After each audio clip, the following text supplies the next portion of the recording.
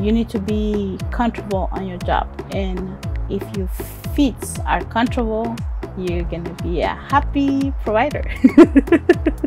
Every year I order a pair of shoes that I like it. It's so comfortable. Yes, I really enjoy it. You can either go online or just call the number.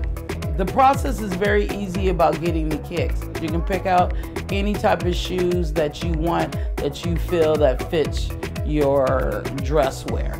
I love the caregiver kicks. They have like different styles, different colors, so yeah, it's really fun.